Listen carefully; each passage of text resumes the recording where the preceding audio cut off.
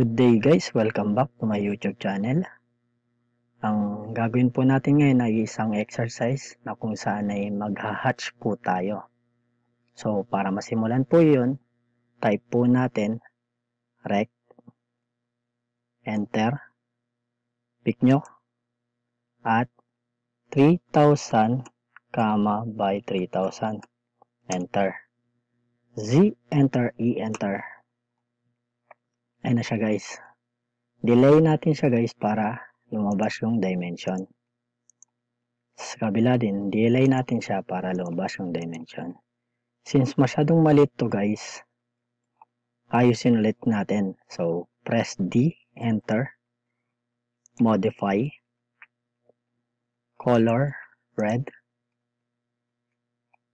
text, sa tabi nun, ng standard, Arial. Set current. Yes.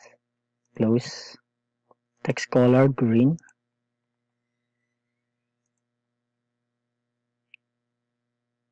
Primary units. Tapos lines. Architectural tick. Architectural tick. Ang text natin Gawin nating 200. 150 ang arrow size. Tapos gawin natin 100.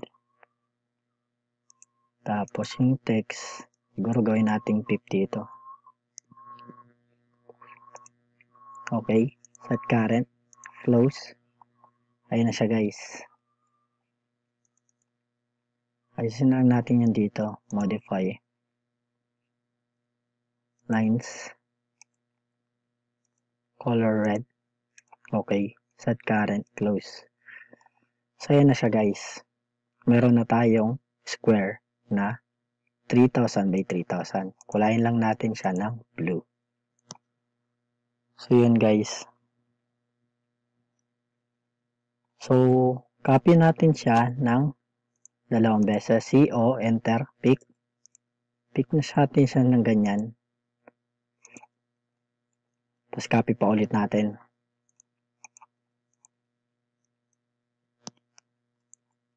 So yung una guys, i-hatch natin siya. BH, enter. Pick natin dito. Enter. Pick. Hatch edit. ANSI. ANSI 31. Okay. Angle. Gawin 45. Preview scale, gawin nating, laruin lang natin sa scale. Preview. Tapos, 15. Ayan na siya guys. Meron ka ng isang hatch. Tapos, kukul kukulayan mo na lang siya red. Tapos, press OK. Then, yung pangalawa natin is magla-line tayo, L, enter. Pick mo sa gitna. Tapos, yan na guys, kulayan natin to ng blue. Tapos, hatch ulit natin to, BH, enter. Pick natin to, enter ulit. Pick natin siya, right click sa mouse, hatch edit. Tapos, ANSI ulit tayo. Tapos, to 50. Check natin, preview. Gawin natin siyang 30. Enter ulit. Gawin natin siyang 45. Ayan guys. Tapos kulayan natin siya ng red. Okay. Kabila naman, BH, enter. Pick. Right, pick ulit siya. Right click, hatch edit. Dito sa swatch, ANSI. Hanapin lang natin ang ANSI. Tapos scale, 50. Tapos dito sa angle, hanapin lang natin yung nakahiga siya.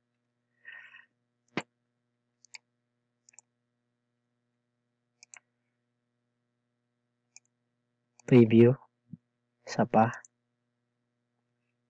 135 ayan guys. Tapos kukulayan na lang natin siya ng red. Tapos okay.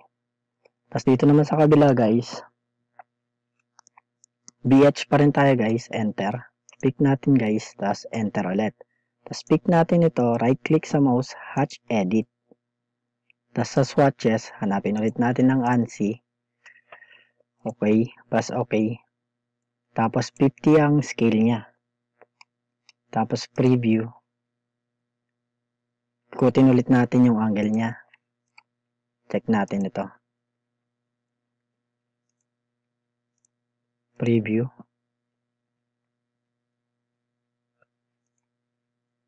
Ninety. Try natin. Ayan guys. Tapos kulayin natin siya sa layer. Color red. Tapos okay guys. Then yung pangalawa naman guys is hatayin natin sa gitna. Hatiin natin sa gitna guys. M, A, enter. Match properties na natin siya guys. Tapos B, H, enter. Pick natin to guys. Enter. Tapos pick natin siya. Right click sa mouse. Hatch edit. Swatches. Hanapin natin yung ERH boom. Preview tayo guys. Yan na yun guys, ba? Try natin sa 5. Masyado malaki. Try natin sa 2. Ayan guys. Pwede na yan guys. Then, sa color, papalitan natin siya ng red. Okay. Then, dito naman sa kabila guys. BH, enter. Pick mo ulit siya ng mouse. Right click, hatch edit. Tapos sa swatch, hanapin lang natin yung earth. Okay. Tapos, try muna natin. Scale 5. Preview. Masyadong maliit. Lakihan natin. Gawin natin 50. Masyadong malaki. Gawin natin 30. Preview. Uh, palitan natin ng color. Red. Okay. So, okay na tayo dyan guys.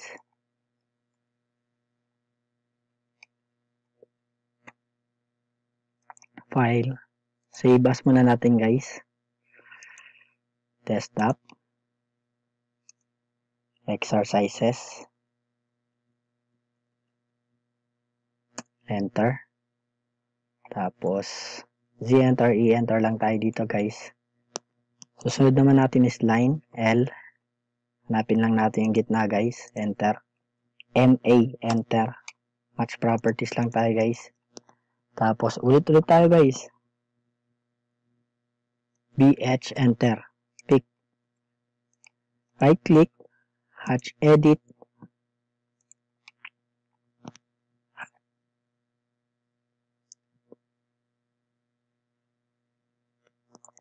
To gravel guys. Red. Gawin nating 5. Preview. Gawin natin 10.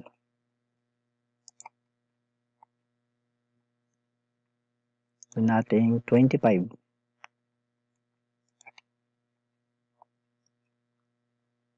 Okay na siya guys. Or pwede ring 30. Preview. Ayan, mas okay yan. So, yung kabila naman guys, BH. Pick, enter. Pick nyo sa mouse. Right click, hatch edit. Swatch. Hanapin natin yung cross. Tapos, color red. Preview muna natin. Then, scale 25. Ayan na siya guys. Tapos, okay. Then, sa kabila naman guys, BH, enter. Pick mo dito, enter. Then, click, hatch edit. Swatches, hanapin natin ang net. Yan guys, tapos scale, gawin natin 25 preview. Masyadong maliit, gawin natin 75 preview. Gawin natin 125 Preview. 100 preview. 80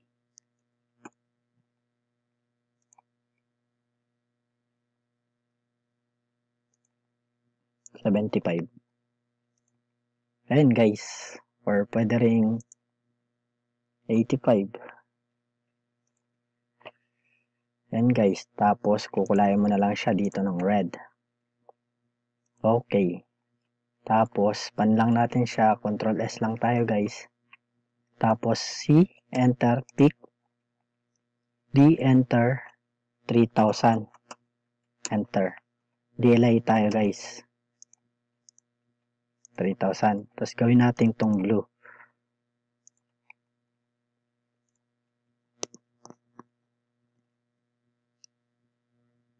BH, enter, pick. Gawin natin tong green.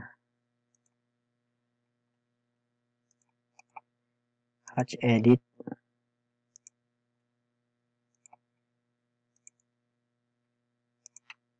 Solid. Gawin natin tong green. Okay. Tapos copy natin to guys. Tapos isa pa guys. Tapos BH, enter. Pick natin to guys. Tapos pick natin. Hatch edit.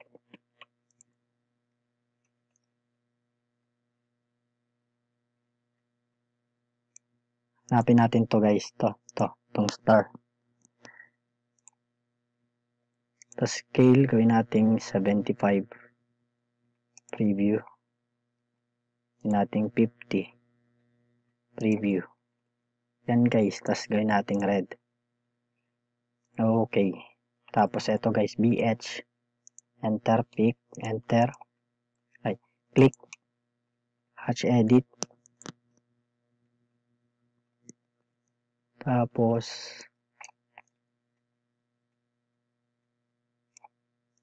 ito, net 3. Okay. Preview. Scale, gawin mong 75. Preview. Ayan guys.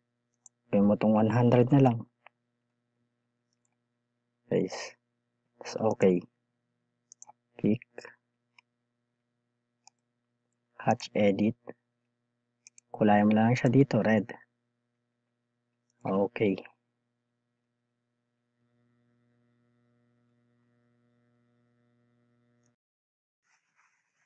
So yun guys, meron na po tayong square at circle na may iba't ibang hatch.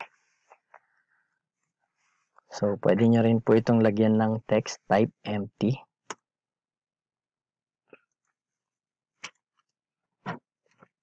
Tapos type ko na lang Benads.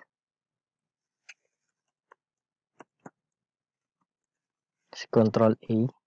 Tapos type nyo dito sa size 200. Enter. Tapos pick OK. Yun na siya guys. Pwede pang mas lakihan dyan gawin yung 600. Enter. Tapos okay na tayo guys. Then yan guys. Meron na tayong isang exercises. So hanggang dito na lang po muna ang ating AutoCAD tutorial. Sana po ay mayroon po kayong natutunan. At kung nagustuhan nyo ang video na aking ginawa, WLSS po tayo. Watch, like, share, and subscribe. Bye guys!